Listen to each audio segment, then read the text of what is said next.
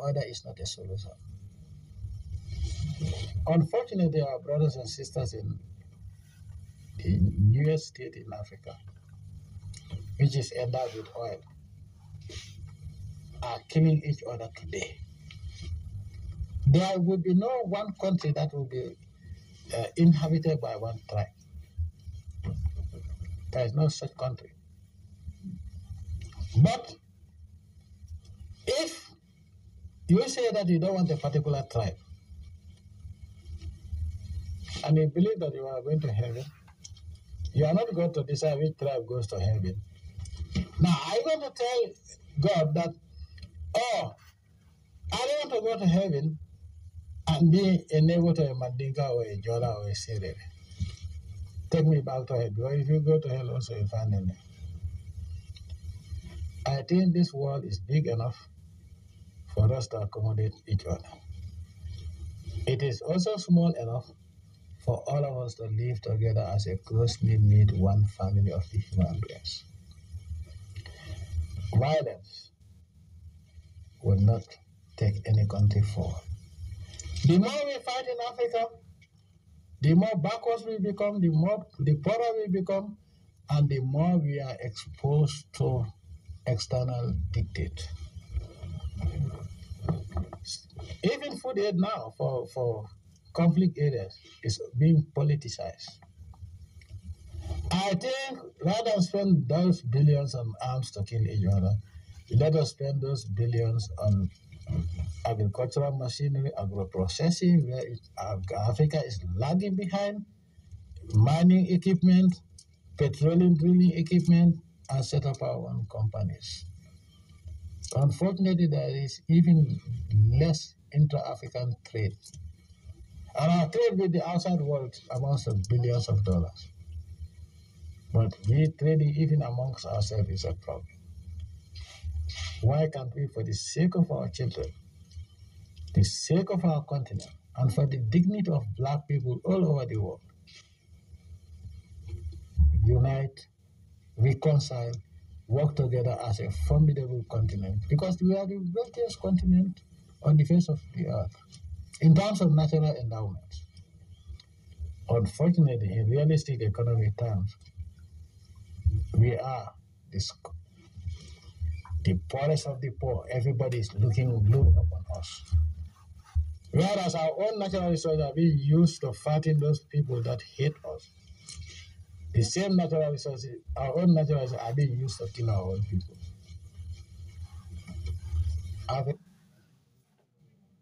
A Pan-Africanist.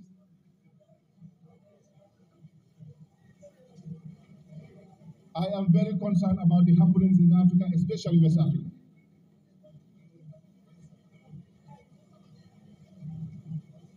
Yagut, of recent, I have seen the ECOWAS introducing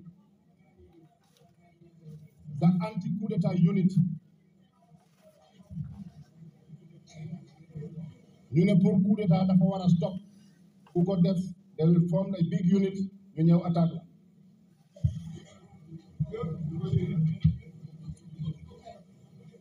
We are not in support of coup d'état. Ndugu zangu wa Afrika, tunahitaji kuongea ukweli, na kiongozi huu anaongea ukweli mtupu. This is a naked truth, na anaongelea kuhusu mambo ambayo yanayojiri katika jumuiya hii ya ECOWAS, ambao wanakitayarisha kikosi cha kuenda kwa mapigano nchini Niger, lakini yeye anasema kuwa mapigano hayo hayahitaji hahitajiki. Hizo pesa ambazo wanaziweka kwa mapigano hayo waziweke kwa mambo mengine ya kuendelesha mbele nchi, na anasema kabla watume kikosi hicho wanahitaji kuketi na wajiulize, je, ni nini inasababisha hizi makudeta? Na anasema kuwa kuna viongozi kadhaa ambao katibu yao ya nchi inasema ya kwamba anafaa kuongoza two terms, lakini zikiisha anaanza kutafuta njia zingine za kubadilisha katiba ya nchi ili aongoze tena tamu zingine. Na huyo sasa akipigwa kudeta, anaanza mapigano, anaanza kulalamika na anasema kwanza watu washughulikie boma zao, washughulikie nchi zao kabla hawajaenda kupeana misaada kwingine, na kwao bado mambo yanaendelea kuchacha. Shida ni mingi nchi zao, lakini wanakubali kutumiwa. We should not accept such kind of things.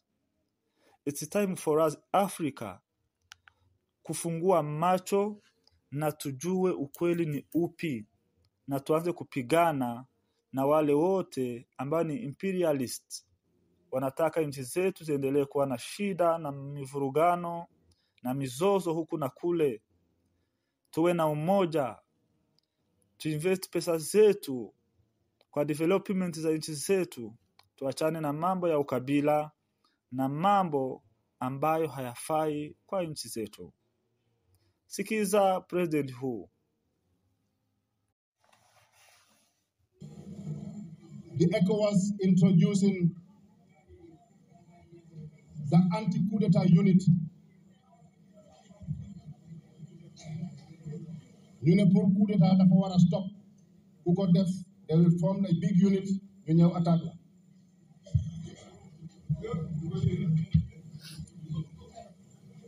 we are not in support of coup d'etat. Let me make that very clear. And I want them to hear this. We are not support or in support of coup d'etat. I was a member of the Pan African Parliament and have advocated strongly for us to introduce a term limit to make sure that we do away with coup d'etats in Africa, especially in West Africa.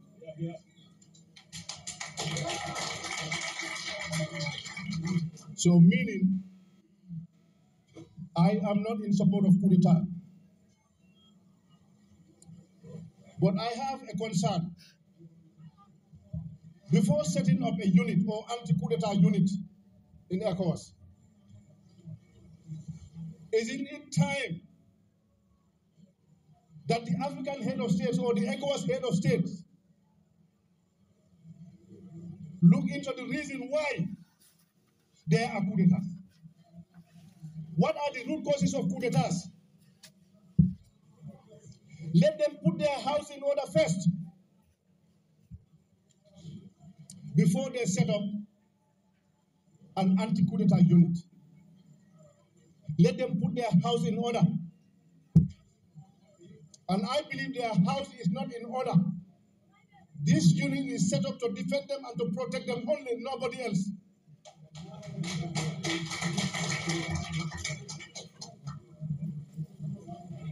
What is more coup d'etat than your national constitution gives you two-term limit, five years, two terms. After serving 10 years, you want to change the constitution for another term. Is that not a coup d'etat? Because you feel you have the powers to do that. The soldiers have the powers to coup d'etat. That is also another coup d'etat. And they are living with them there. They are there. in the name of civilian, putting on mufti clothes, calling yourself a Democrat when you loot all the resources of your country, mislead people, torture them, imprison them, burn their businesses to us, and you call that a democracy or a civilian rule and illegally elected government. The leaders must stop lying to their electorate first. They must stop the corruption. They must stop looting our resources. They must understand that they are not a better citizen than anybody. They are given a responsibility, a role to play to help develop the countries. and make sure that there is peace and tranquility and respect the constitution of the country. But this is not happening. Example is this government. This government has lied to people in 2016 that they are going only for three years. Was that not a lie? Who asked them to tell people that we are going for three years? Were they forced to say that? They went around the whole country, lied to everyone. When the people started reminding them, this is what you promised us, they threw tear gas on them. And the president is bragging, yes, when I threw tear gas in them, they never came back.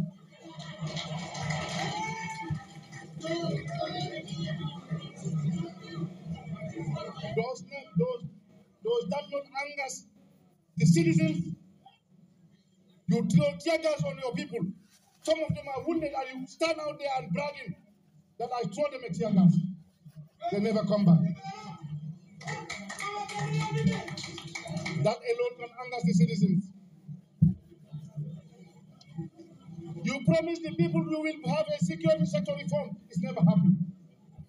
The civil service sector reform is never happening. The Jani Commission, Jani Commission was violated before the end of the Violent Commission. When you take all the assets of the former president, and now you are busy buying assets. Your days are gone. I thought they should have learned, or they could have learned from this. Unfortunately, they are not learning.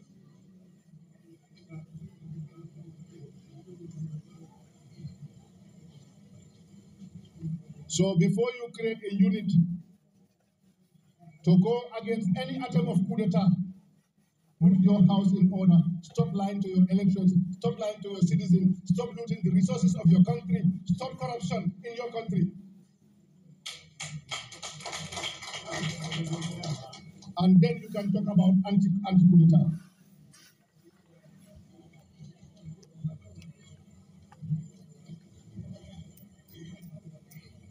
When Alpha Conde was killing his people in Guinea, after serving 10 years, he said it was not enough. I want to serve another term. During the process, so many Guineans were killed. And I did not hear anything I was going there or condemning him. You know why? Because Guinea was too big for them, or Alpha was dancing to their